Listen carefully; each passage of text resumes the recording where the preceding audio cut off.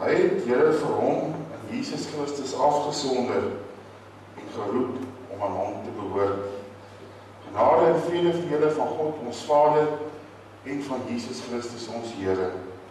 Amen.